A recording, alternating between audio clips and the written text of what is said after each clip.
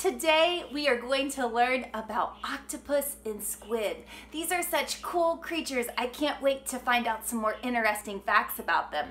Well, you may have noticed behind me, I have a big octopus. And do you know how many arms or legs an octopus has?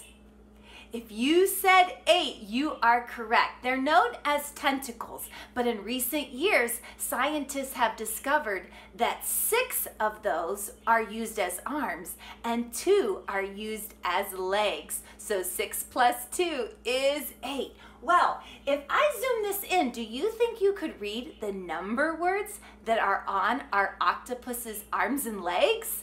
Let's give it a try. Number word do you see there? It's sideways. Eight. Then what? One, three. Good job. Seven, four, five. Keep going. Two, and six. Way to go. Those were our number words, one through eight. They were all mixed up in different order. I want you to keep practicing your number words. Well, follow along with me and let's learn more about octopus and squid. All about octopus and squids. Octopus and squid are both a type of mollusk. There are over 300 species of each. Some live on the ocean floor while others enjoy more shallow water around coral reefs. While octopus and squid have some things in common, there are many differences. First, octopus have a globe-shaped head with two eyes, whereas squid have a more triangular or cone-shaped head with two eyes. They both have limbs protruding from their head.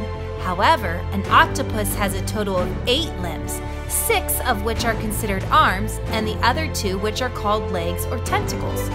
Each arm and leg has several suckers which the octopus use to move around and grab onto things. Squid also have arms or tentacles, but they have a total of 10. Eight arms and two longer tentacles.